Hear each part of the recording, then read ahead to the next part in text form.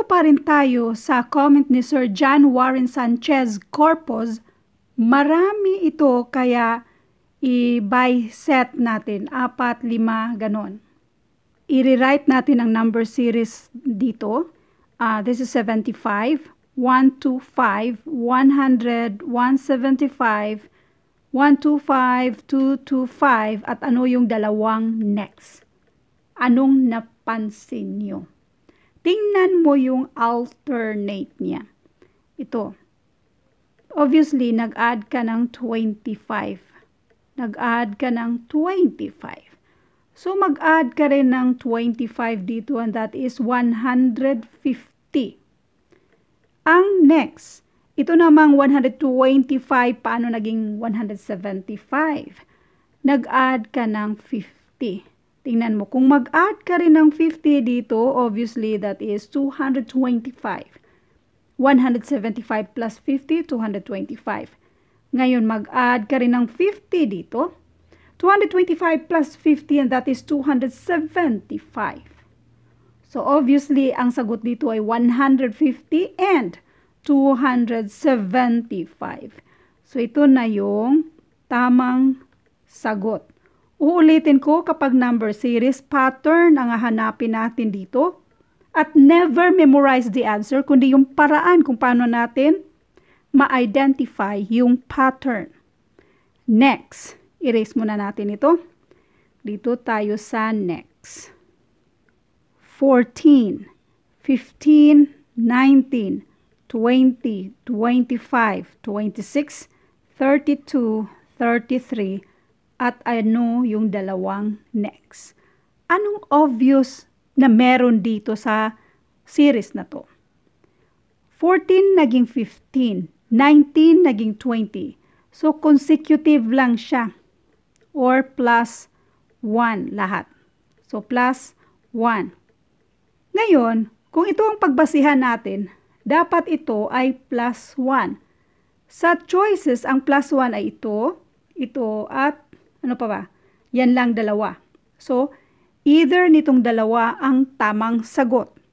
Ito yung tingnan natin. 15 naging 19 or kunin mo yung difference. So, therefore, mag-add ka ng 4 sa 15 para maging 19. Kunin natin ang difference niyan, 5. So, therefore, mag-add ka ng 5 sa 20 para maging 25. Kunin ang difference, 6. Therefore, mag-add ka ng 6 para maging 32. Obvious na ba? 4, 5, 6. So, therefore, mag-add ka ng 7 dito sa 33 para maging 40. So, 40 plus 1, this is 41. So, ang tamang sagot dito ay 40 and 41. Next, i-rewrite muna natin 48, 48, 53, 43, 59, 37, at ano yung dalawang next. Ano nakikita niyong pattern? Kung isunod-sunod mo, mukhang walang pattern siya. So, i-consider natin yung alternate. 48, paano naging 53? Kunin mo lang yung difference. So, ang difference niya ay 5. 48 plus 5, and that is 53. So, next, kunin mo yung difference. Ang difference ay 6. So, bali nag-add ka ng 6 sa 53 para maging 59. Ang pattern dito ay 5, 6. So, ang kasunod ay 7. Yung lagi kong inuulit na mas marami ang given, mas obvious ang pattern. Ito, ito lang yung given. So, dalawang number pa lang tayo, 5 at saka 6. Malay natin, 5, 6, 5, 6 pala siya. Pero anyway, 5, 6. Ang next niyan ay 7.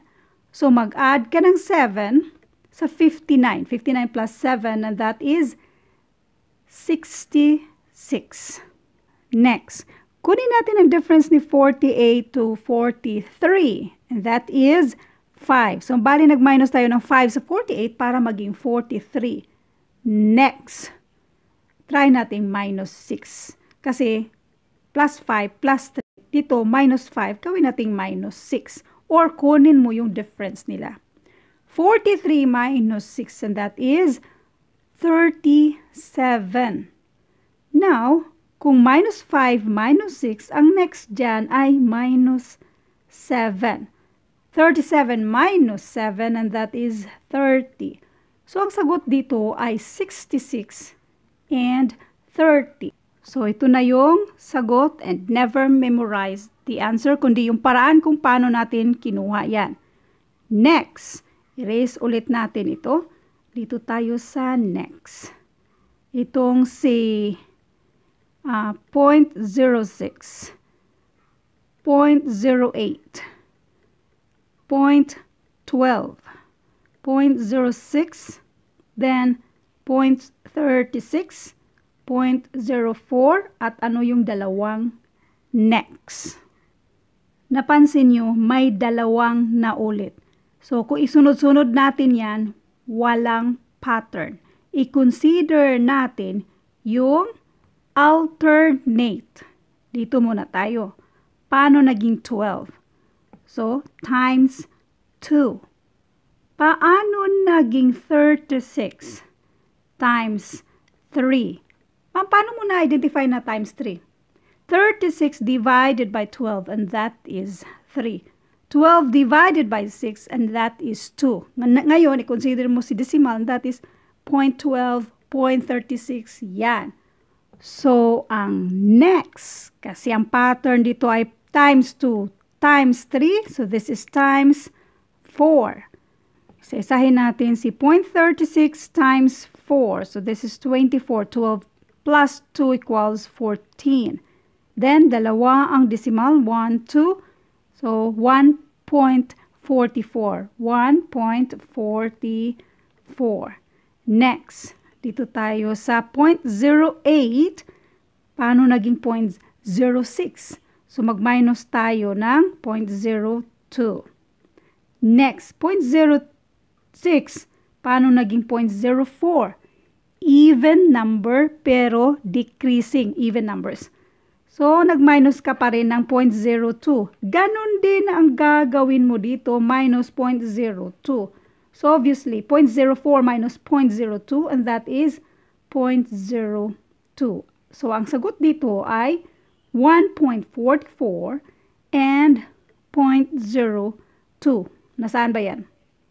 1.44, ito na yung tamang sagot.